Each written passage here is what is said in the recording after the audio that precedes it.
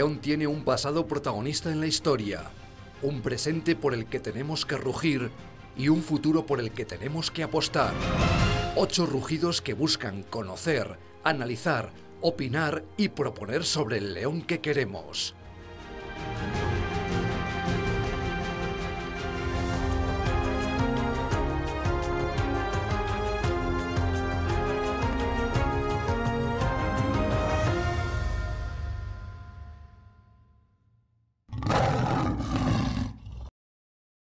León ha sido históricamente un referente en producción energética. La energía térmica, con el carbón como combustible, ha constituido además la base de la generación de empleo y riqueza en muchas comarcas durante décadas.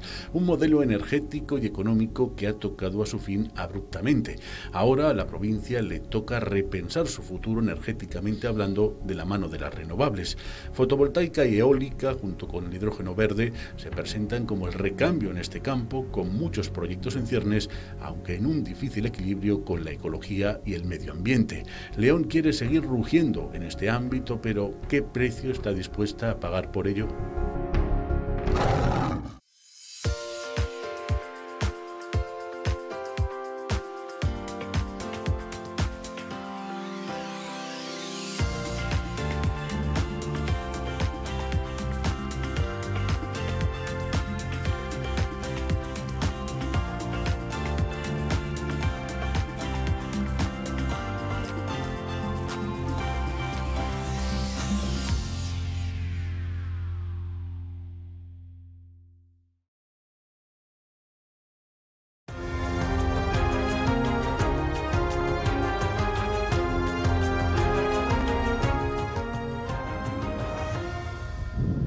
León ruge, León queremos que ruja. Ese es el objetivo de este programa que iniciamos en este verano de 2021 aquí en la 8 León. Queremos fijarnos en las potencialidades de esta provincia y hoy concretamente en este escenario que nos acoge, en la localidad de La Robla, queremos hablar de energía, de lo que ha sido León energéticamente hablando, lo mucho que ha significado en el panorama nacional, lo que es ahora mismo León, después del cierre de su principal eh, fuente energética, que era el carbón y la energía térmica, y sobre todo lo que será, qué papel va a jugar energéticamente hablando León en eh, el panorama autonómico, en el panorama nacional.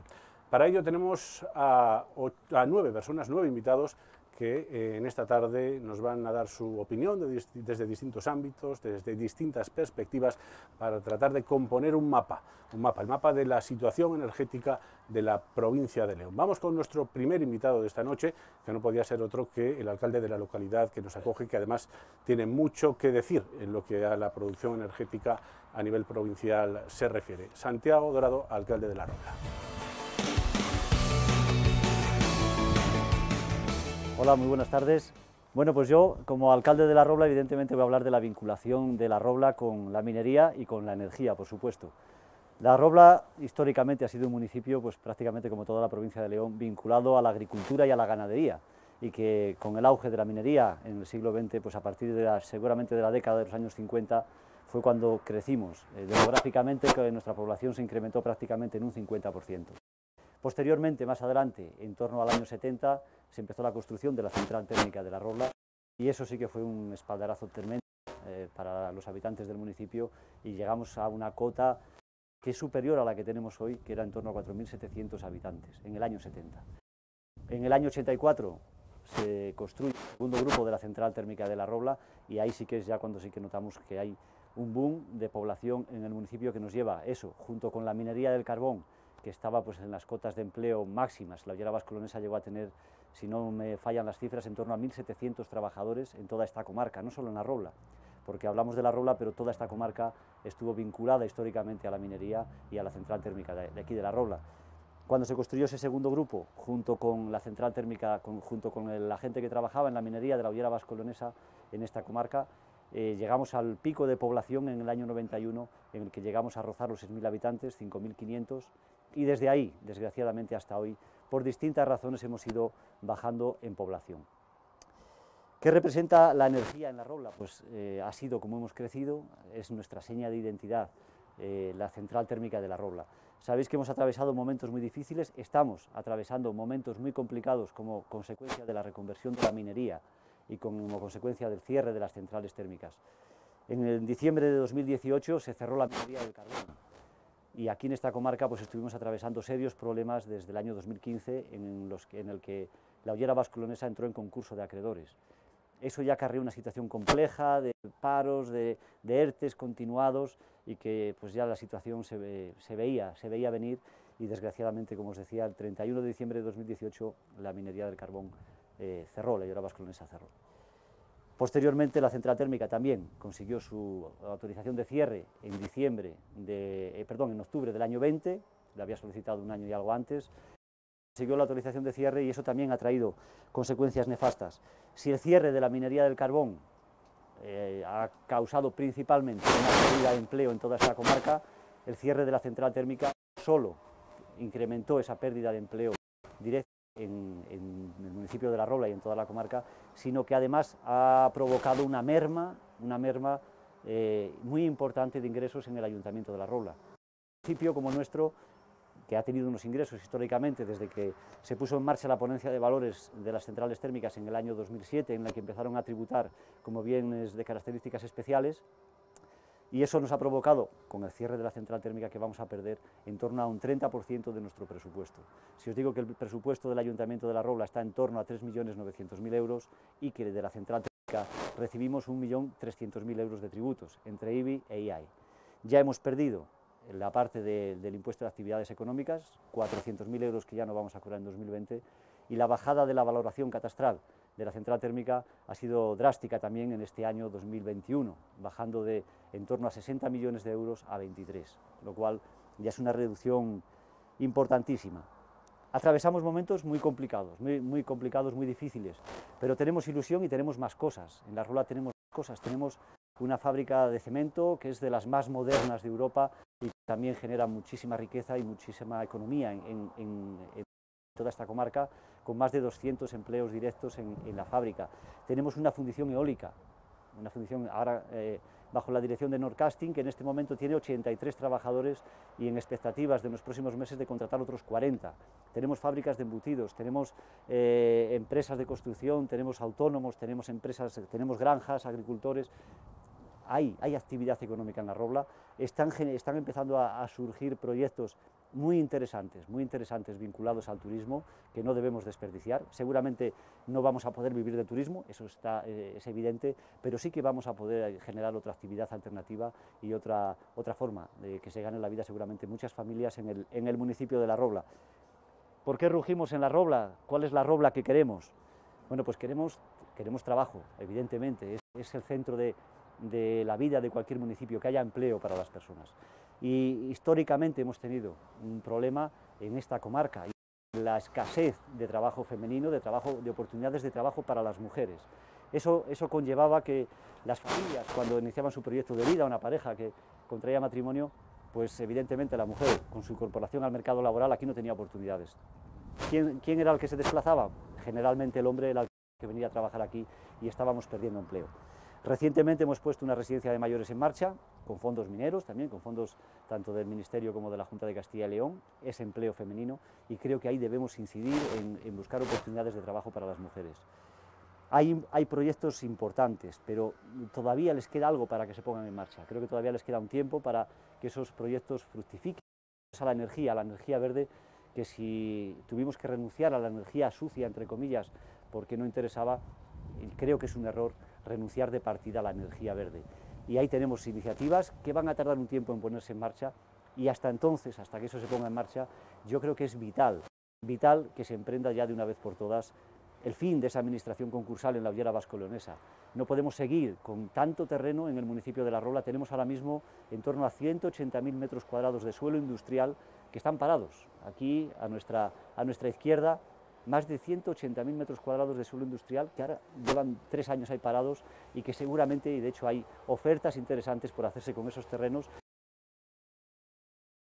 Entonces, en esa transición, hasta que tengamos otros proyectos de mayor calado, es muy importante esa restauración de los espacios mineros degradados, porque eso nos va a generar empleo durante estos dos años, hasta que se pongan en marcha otros proyectos. Y ahí creo que es donde debemos incidir. Generar empleo en esa restauración durante estos dos años y esperar que esos otros proyectos ligados a la energía y que entre todo, entre lo que tenemos, entre lo que vayamos poniendo en marcha y esos proyectos ligados a la energía verde, creo que la Robla tiene muchísimo futuro, estoy convencido de ello y sin duda ninguna vamos a salir de esta situación, estoy convencido.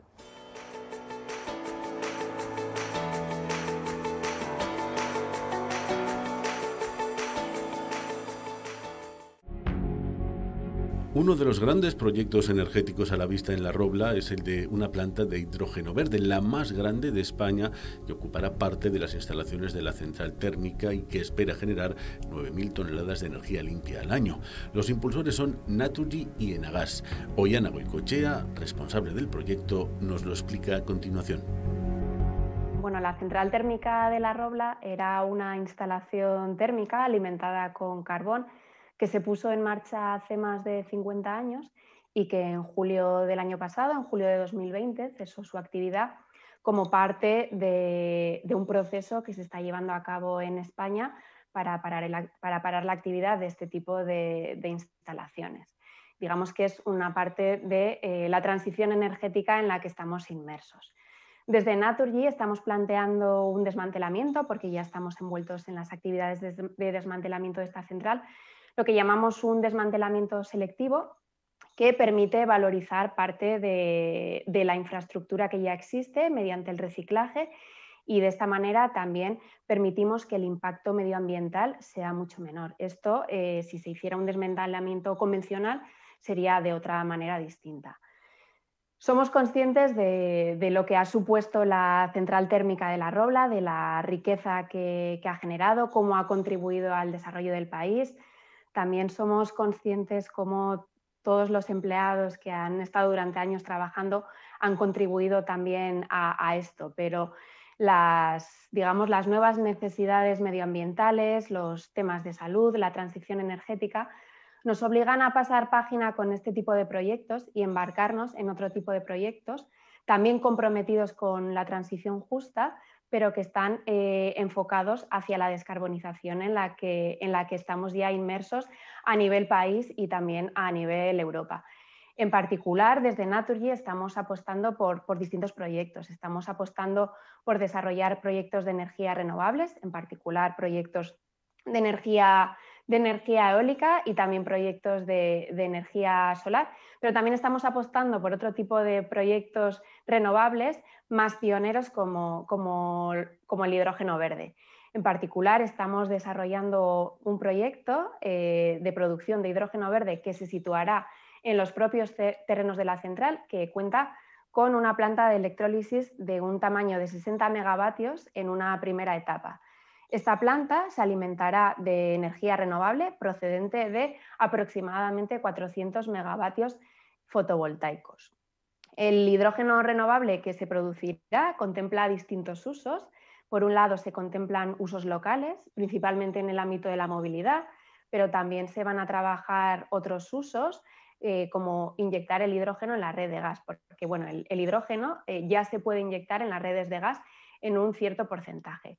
Y en una segunda fase también se espera que este hidrógeno pueda ser exportado al norte de Europa, porque hay una serie de países en el norte de Europa, como, como son, por ejemplo, Alemania y Holanda, que van a ser deficitarios en hidrógeno y van a necesitar el hidrógeno que se produzca en otros países.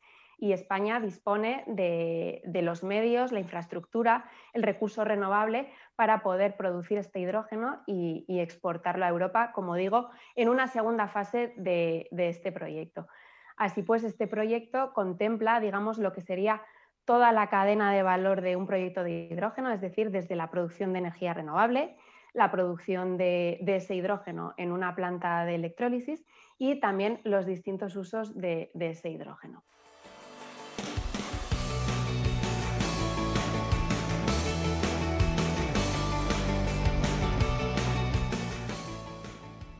El protagonismo absoluto en este Rugidos lo toma durante los próximos minutos la que fue la principal fuente de energía en esta provincia, la minería, el sector del carbón, la energía térmica, las centrales térmicas. De ello vamos a hablar con eh, tres representantes de otros tantos sindicatos que ocuparon cargos de responsabilidad en su momento en el sector minero.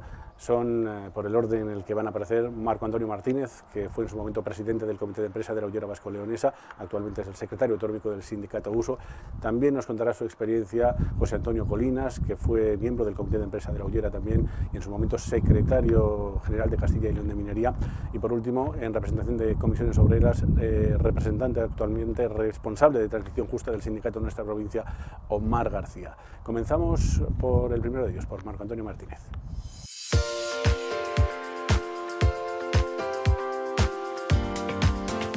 Bueno, pues eh, para hablar del león que queremos eh, está bien claro y por lo menos por, por mi parte que es necesario hablar del presente y del pasado reciente, aunque sea de manera bastante breve. ¿no? Por el presente es que nos encontramos en una zona donde se pisa eh, mucho, mucho carbón que ha generado durante muchísimo tiempo un recurso importante no solamente a nivel de trabajo, sino que ha, sido, ha servido la base del desarrollo de esta provincia y de tantas partes de España. Unas térmicas que estaban al lado de la, evidentemente, de las minas, que estaban ahí precisamente pues porque era el sitio perfecto para transformar esa materia prima en energía y que hoy al día, al día de hoy ya eh, se encuentran caducas y en estado de demolición. Y un pasado reciente con todo lo que supuso para nosotros eh, la entrada de la decisión europea de la desvinculación del tema de las ayudas, las decisiones sobre las grandes instalaciones de combustión, en las que si había alguna esperanza ya en el año, allí en el año 2018 para que con una inversión que parecía que se estaba planteando por parte de algunas concursadas pudiesen tirar o generar alguna expectativa a base de invertir en el tema de medio ambiente, pues hoy eh, es un cero absoluto. ¿no? O sea, el presente eh, de, esta, de esta zona es eh, mm, realmente Mm, lamentable a nivel de energía cuando ha sido una zona que ha dado muchísimo, no solamente a todo León, sino a todo, a todo el país. Eso es, mm, vuelvo a repetir, creo que es fundamental, es una deuda moral y creo que justa, ¿no? El tener que, eh, lo he oído muchas comisiones de seguimiento, lo he oído muchas relaciones con el Instituto, con el Ministerio, de que la huella del kilovatio durante aquel tiempo practicado debería ser una oportunidad para estos territorios y eso lo estamos esperando. ¿no? Luego la transición, bajo mi punto de vista, no ha sido tampoco justa para todas las personas. Ha habido eh, una parte muy importante de los trabajadores que ya llevaron el primer hachazo allá en el año 2014, que fueron sobre todo la gente de las subcontratas y de paso sus empresarios. Y no ha sido eh, a nivel social, que fue lo que nos tocó realmente negociar a nosotros con el Ministerio, de acuerdo a que la decisión europea lo permitía, lo mismo que exigía la devolución de las ayudas, la disminución de las ayudas, eh, permitía eh, la, elaboración de planes sociales, no ha sido justo realmente con ellos. Yo quiero entender que, por todo lo que veo, que lo que es la, huella energética o las, las alternativas empresariales, industriales, que se puedan generar aquí a través de fondos europeos, de todo lo que hemos pactado en la negociación con, con el Ministerio en los planes de carbón, eh, sea una realidad, pero eh, el tiempo pasa y la burocracia existe y es una auténtica mella para, para estos territorios. ¿no? Es verdad que esta zona está súper bien comunicada, pero es verdad que esta zona está, como en general todas las zonas mineras de lo que es el norte de León, totalmente olvidada. Mm, algunas veces he llegado me he llegado a cuestionar, como se habrán cuestionado muchas personas, que si el carbón no lo hubiesen podido sacar de aquí y haberlo colocado en otro lado, aquí no hubiese habido nada, absolutamente nada es un pensamiento que tengo, realmente. Afortunadamente de aquella no fue, pero hoy eso eh, pasó a otra, otra dimensión.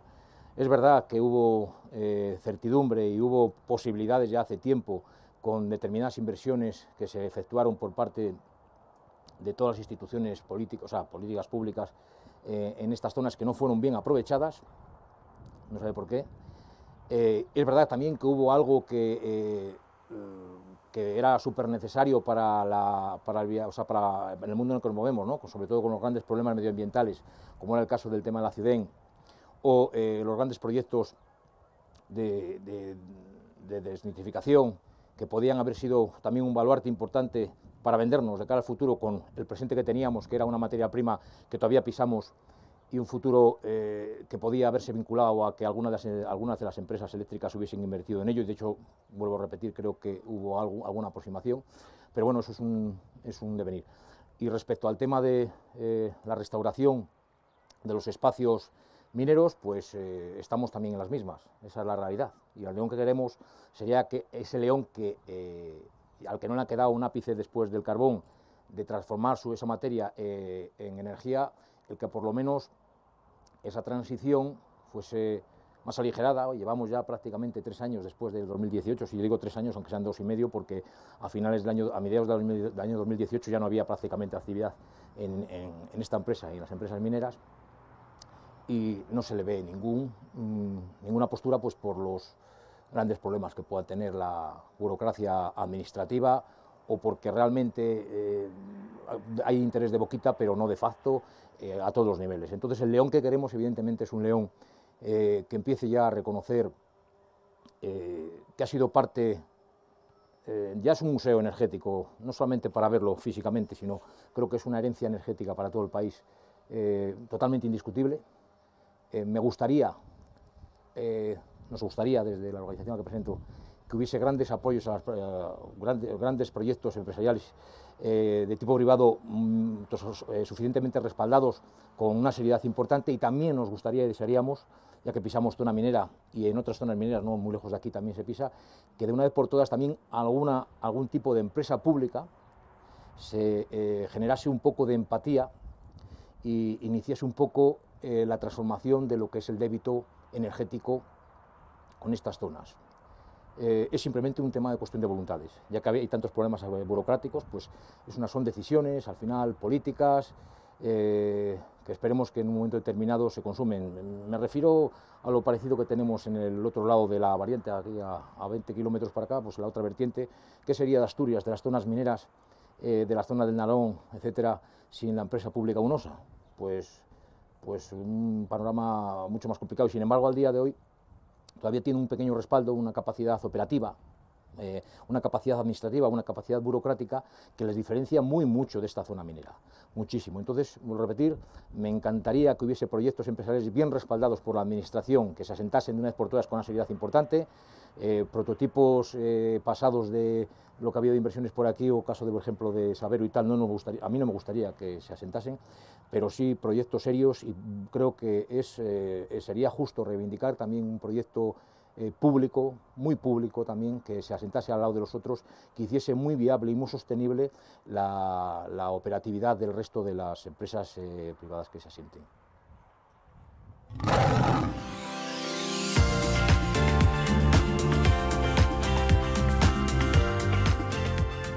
Buenas tardes a todos.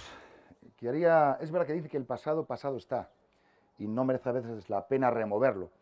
Pero sí me, quería, me gustaría recalcar que allá en el año 1998, cuando salió el primer plan del carbón, que se firmó, se pactó por todo el mundo, se adquirieron ciertos compromisos, aparte de muchas subvenciones.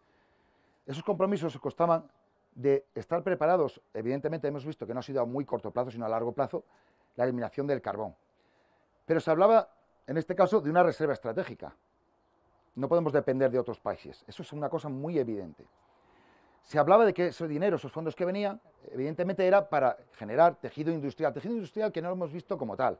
Hemos visto pequeñas menudencias, pero no lo suficiente para que todos esos excedentes del sector minero que iban y sabíamos que podrían quedar fuera, pudieran ser recolocados y seguir con la actividad. Es decir, las cosas que se hacen y se firman, se pactan entre todos, hay que cumplirlas. Y ese es uno de los primeros grandes errores. Para mí, bajo mi punto de vista, no se ha estado a la altura que hay que estar y a alguien le ha corrido excesiva prisa de cerrar esto mal, deprisa y quizás corriendo. No obstante, estamos en una tierra que no está nada mal para volver a intentar reindustrializar. No estoy hablando que sea precisamente el carbón o no, aunque sí insisto en una reserva estratégica que pudiera quedar por lo que pudiera pasar. Pero estamos muy bien comunicados, una zona más que eh, antes se comentaba que había ganadería, había agricultura, tenemos mucho turismo, pero que aún tenemos mucha fortaleza para sacar de lo que es nuestra propia tierra, sean montes o sea lo que tenga que ser. Hay capacidad para intentar recolocar a toda esa gente, que, bueno, por supuesto que a los que se han ido y a las nuevas generaciones que antiguamente aquí, teniendo lo que teníamos con la empresa minera, con cementos, con la térmica, pues la posibilidad de encontrar empleo era importante. Hemos visto que hay muchos números, muchas cantidades en cuanto a la gente joven de la zona. De la zona me estoy refiriendo eh, de León en, como provincia, como tal, no solamente a la nuestra, que es la más afectada en cuanto al cierre de la minería. Gente que ha tenido que emigrar, y vemos datos donde vemos que la gente continuamente se está marchando, que nuestras poblaciones, nuestras poblaciones en general están disminuyendo. Estamos hablando de muchos fondos, de muchas capacidades, de muchas ayudas. Invirtamos nuevamente aquí. Pero vamos a intentar reindustrializar una zona como es León. Solamente hay que sentarse, intentar recapacitar y volver. Si no es del carbón, podrán ser de otras mil cosas, pero hay capacidad. No estamos apartados ni estamos allí en lo alto de un monte, es una gran zona. Yo no quiero achacarse, y todos lo sabemos porque lo vimos, que se luchó lo indecible. Claro que era más que previsible que esto tarde o temprano al final diera el cierre, pero insisto un poco en el hecho de no en la forma de, de cómo se hizo, desde luego.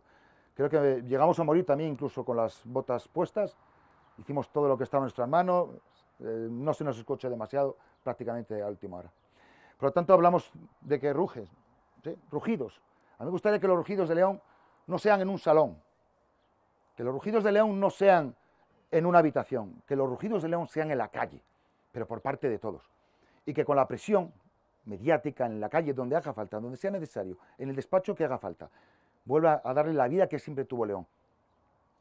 Es verdad que hemos visto que durante 125 años hubo una empresa hizo rica esta zona.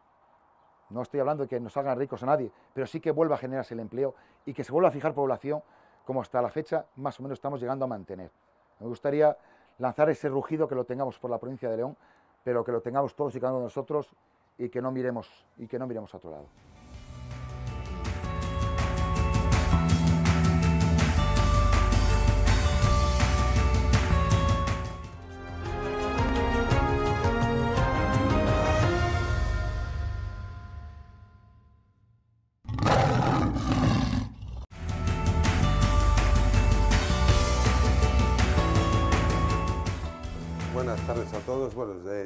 Punto de vista, desde la Organización Sindical de Comisiones Obreras, para entender el, León que queremos, eh, creemos que es necesario también saber de, dónde venimos, ¿no? Hay que entender también el punto en el que estamos y, bueno, tiene, tiene pues al final pues una explicación, ¿no? Como bien se ha dicho aquí, la minería en León y en las comarcas mineras pues era, era el monocultivo, ¿no? De, prácticamente total de, de las comarcas mineras y ha supuesto más de un 20% del, interior, Producto Interior Bruto de, esta provincia. ¿no? Hemos visto a lo largo de los años, en los diferentes planes del carbón, cómo el, sector minero pues, ha ido mermando con prejubilaciones y, y con ayudas, ¿no? lo que es al final pues, a dar una salida a los trabajadores del sector. ¿no? Pero había otra parte eh, tan, tan importante como esta que era era lo que es la búsqueda del, empleo alternativo en las comarcas mineras, la, famosa reindustrialización, en la cual que era un pilar fundamental de los diferentes planes del carbón y que a día de hoy pues estamos viendo cómo no ha sido todo lo efectiva que, esperábamos que fuera. ¿no? Hemos visto cómo se han dado muchas ayudas, cantidades indigentes de ayudas, y la realidad eh, a día de hoy es que las comarcas mineras no hemos llegado al objetivo de que, de que se dé hoy ese, esa, bueno, pues al final esa eh, la solución ¿no? a, ese empleo que, que un día estamos esperando. ¿no? Es cierto que muchos de los gastos de, ordinarios de las consejerías de la Junta de Castilla y León pues se han, se han disfrazado como eh, gasto de fondos minas en muchos casos. ¿no? Eh, creemos que los, de los errores se puede aprender eh, nosotros, desde las opciones sindicales, nos hemos opuesto eh, frontalmente con el cierre del sector.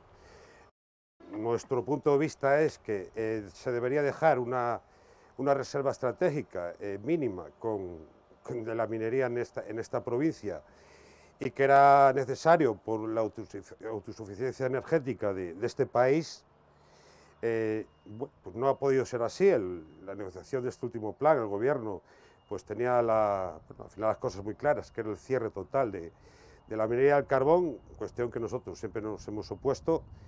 Eh, se ha firmado un, último plan del carbón para dar salida, la mejor salida a, los, trabajadores del sector y ahora mismo pues estamos inmersos ¿no? un poco buscando lo que es el futuro ¿no? de, esta, de esta provincia, de estas comarcas. ¿no? Eh, nos encontramos en, en una transición justa que de momento desde la acción sindical pues eh, somos eh, escépticos, ¿no? Un poco, estamos un poco a la expectativa de que eh, al final pues se hagan las cosas bien, hay una estrategia que cambie la dinámica que venían siendo los diferentes pares del carbón y creemos que hay que hacer unas inversiones con sentido. hay unas ayudas privadas al libre mercado, pero creemos que las administraciones tanto autonómica como, como la provincial, deben acompañar con, con, inversiones públicas para generar al final una estrategia eh, que, que, que, sirva para eh, al final paliar un poco la pérdida poblacional en las comarcas mineras. ¿no? Todos somos conscientes del que el monopolio del, del carbón es eh, prácticamente imposible, no va a haber empresas de, más, de más de mil trabajadores, ¿no? Pero creemos que es posible pues, en sectores como el agroalimentario, el, turístico y eh, el forestal y, varios, ¿no? pues que se pueden, se pueden explotar. Creo que las comarcas mineras tienen potencial. Creo que León tiene que aprovechar eh, los fondos que están destinados para tal cometido, pero necesitamos voluntad política. Voluntad política desde la Administración, el Gobierno central, como el autonómico y el provincial. ¿no? Eh, lo cierto que a día de hoy, desde la firma, eh, no, no, existe ningún proyecto de lo que, lo que es potente, ¿no? un proyecto piloto por cada zona, ¿no? y creemos que, vamos tarde. Eh, la verdad que mm, los municipios mineros siguen perdiendo población, más de un 50%, ¿no? La Ciana, La Robla, El Bierzo, la parte de Favero, pues son municipios que han perdido más de la mitad de su población, con una población envejecida y con una juventud que no tiene una salida laboral en, en, estas comarcas mineras y que evidentemente pues tienen que, buscarse la vida y emigrar. ¿no? Eh, la verdad que el futuro no, es que, no se presenta nada esperanzador en las comarcas mineras si al final no se, aprovecha, repito, de manera eficiente estas ayudas y, de manera inteligente. ¿no?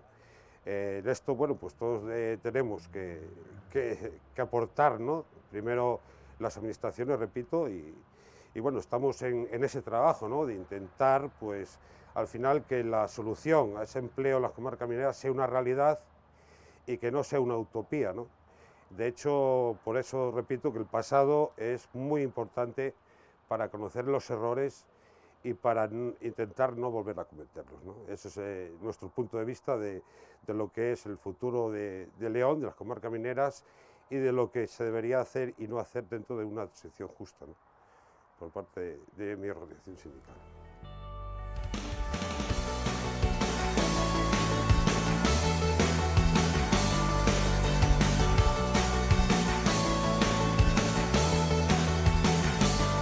El segundo de nuestros invitados institucionales de esta noche es el director general de la Fundación Ciudad de la Energía, más conocida como la CIUDEN, con sede en Cubillos, en el Bierzo. Con Arsenio Terrón queremos hablar de los proyectos de la CIUDEN, también del proyecto primigenio, porque en su momento, cuando se creó, se hablaba de buscar la manera de quemar carbón sin que contamine. Yo no sé si seguirán en ese proyecto o la dura realidad que ha conducido al cierre de las térmicas les ha obligado a replantearse su trabajo. Eh, nos acompaña ya Arsenio Terrón, como les decía, director general de la CIUDEN.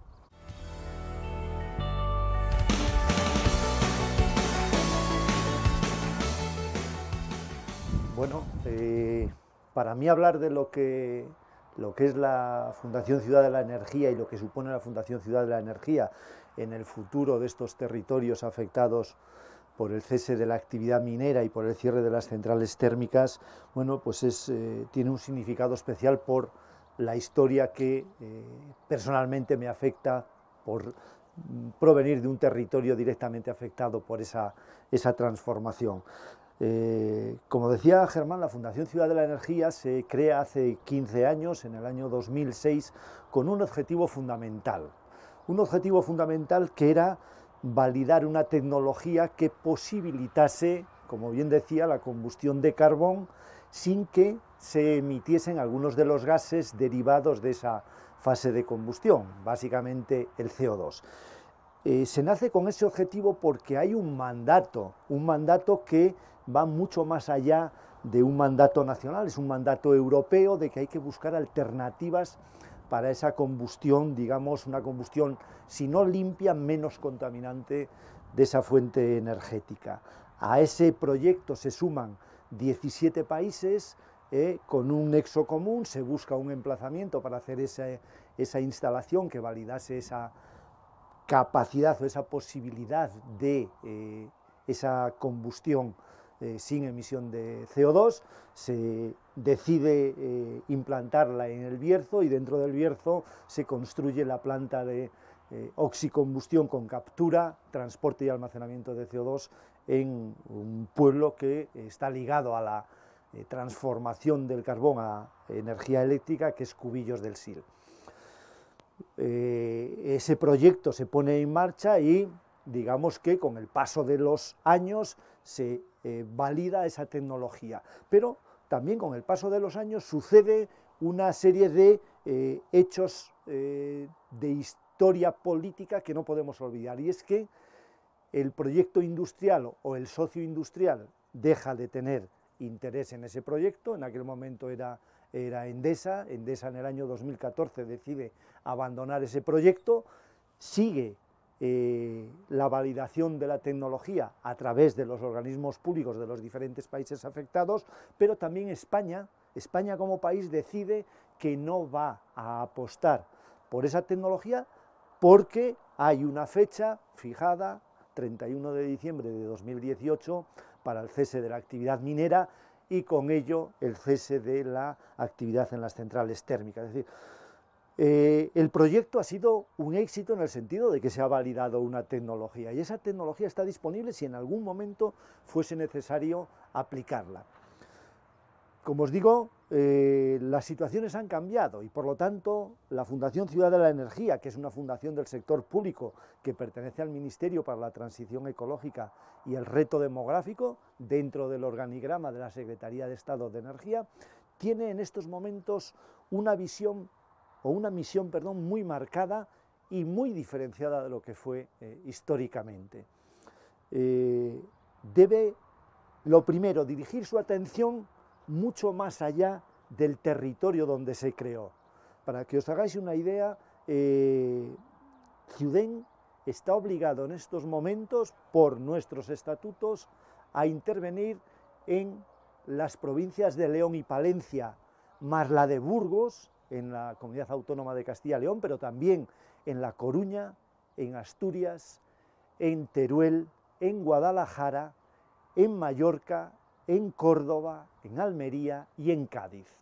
Estamos hablando de una parte muy importante del territorio nacional. Ahí tenemos nuestras competencias ligadas con temas de no tanto de generación de energía, eh, Alfonso lo ponía antes de manifiesto, sino en un nuevo concepto que se ha puesto, digamos, de moda en los últimos años, que es en el tema de almacenamiento.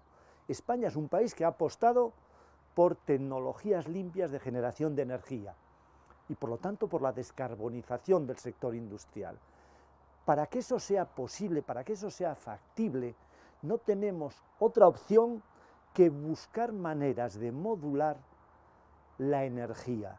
Y el problema que, tenemos con las energías llamadas limpias, especialmente la eólica y la solar, es que se producen o generan energía cuando tenemos horas de sol o cuando tenemos horas de viento. Pero hay horas del día a lo largo de eh, la semana, a lo largo de cada una de las semanas del año en que eso no sucede y por lo tanto tenemos que ser capaces, cuando generamos excedentes energéticos, de almacenarlo. ¿eh? Ese es el gran reto con el que nos enfrentamos, es el gran reto con el que se enfrenta el mundo en estos momentos. Y tenemos la posibilidad de transformar las instalaciones de la Fundación Ciudad de la Energía para validar estos, estos proyectos. Yo tuve la oportunidad hace poco más de dos meses eh, de eh, asistir a una comparecencia en el Senado, en la eh, Comisión de Transición Energética, y hablaba a los más de 60 senadores que, formaban parte de esa comisión de las posibilidades que la CIUDEN eh, podía marcar en ese futuro más o menos inmediato para validar esas tecnologías, esos procesos de almacenamiento energético. Y con sorpresa, con sorpresa pude comprobar que prácticamente ninguno de los senadores, de los más de 60 senadores que formaban parte de esa comisión, conocían de la existencia de la Fundación Ciudad de la Energía. Quedaron, eh, bueno, pues gratamente sorprendidos de que España tuviese esa posibilidad, porque Ciudén está en España, está en Cubillos, está en la provincia de León, y no la tiene ningún otro país de la Unión Europea. Ningún otro país tiene la capacidad técnica y tecnológica de validar procesos de almacenamiento energético tal y como la tenemos nosotros. ¿Cuál es nuestra apuesta? ¿Cuál es nuestro cometido? ¿Cuál es la obligación que tenemos como fundación del sector público? Pues atraer a todos aquellos que quieran promover proyectos de almacenamiento energético, muchísimos de ellos están en fases todavía muy inmaduras y por lo tanto hay que ayudarles a avanzar para hacerlos económicamente rentables. Es decir, nosotros podemos hacer en un plano de validación que se estructura en nueve niveles, la CIUDEN puede llegar hasta el nivel 7 e incluso al nivel 8. El nivel 9 ya es el nivel industrial. Primero tiene que haber una apuesta desde el sector público, como os digo, de apoyo a esas tecnologías para validarlas y en el momento en que estén suficientemente maduras, debiera aparecer el sector privado, debiera haber una iniciativa de eh, los eh, poderes financieros, económicos, de, donde sea, que decidan apostar por poner en marcha alguno de esos procesos. Eh, Alfonso os hablaba antes de la capacidad de usar nuestros espacios mineros, la provincia de León los tiene en cantidades muy grandes, pero cualquiera de las otras que yo os decía que están ligadas al sector eh, minero los tienen. Bueno, pues esos espacios mineros son un recurso fundamental para proyectos de validación de almacenamiento energético. Él se refería al aire comprimido, pero hay otros muchos y nosotros tenemos capacidad para validar prácticamente en todas las vías de ese almacenamiento energético. Habréis oído hablar, porque también cada vez hay mayor eh, presencia en los medios del almacenamiento, del uso del hidrógeno, tanto como vector energético como como eh, vector de almacenamiento, pero puede haber eh, otros muchos, el aire comprimido, los líquidos densos, es decir, existen muchas posibilidades y nosotros tenemos la capacidad de hacerlo. A, nuestras puertas, a nuestra puerta han llamado pues multitud o un número importante de proyectos de este tipo y se están valorando, se están validando porque, lógicamente, para acometerlos se necesitan fondos públicos, eh, utilizaremos esos fondos eh, de transformación eh, y resiliencia que llegarán de Europa con esta finalidad, pero quiero dejar de manifiesto e insistir una vez más que tenemos algo que nos diferencia. En León como provincia, pasamos por ser eh, derrotistas, es decir, a veces no nos creemos las potencialidades que tenemos. bueno, pues seamos capaces de explotar esa capacidad tecnológica que tenemos en un pequeño pueblecito, en la comarca del Bierzo, en la provincia de León, pero también, también en la Fundación Ciudad de la Energía, ligado con el mantenimiento de infraestructuras y de capacidades energéticas, no olvidemos que León es un espacio sobresaliente, León como provincia es un espacio sobresaliente en una energía que nos la tenemos que creer de verdad, que es la energía que nos da el paisaje. Estamos aquí en un lugar excelso, en la montaña central leonesa, que es un paradigma de esas capacidades. Pues Ciudén está obligada también a intervenir en esa capacidad de transformación de paisaje en recursos económicos. ¿Por qué os digo esto del eh, paisaje como vector también de generación de energía? Generación de energía por generación de economía. Apostemos por todo aquello que pueda transformar nuestro territorio. La generación energética puede ser un factor o puede ser un elemento que genere dinamización económica? Seguramente. Analicemos cómo, cuándo y dónde poner esas fuentes de generación energética. Una vez que generemos esa, energía, almacenémosla. No tenemos otra opción. Y no tenemos otra opción, no os hablo en un futuro lejano, os hablo del año 2027. Es decir, dentro de seis años tenemos que tener capacidad para almacenar buena parte de la energía que generemos. Y en el año 2030 muchísima mayor la obligación. Ya para llegar al año 2050, donde no podemos generar energías contaminantes. Es decir, todo eso es a corto plazo.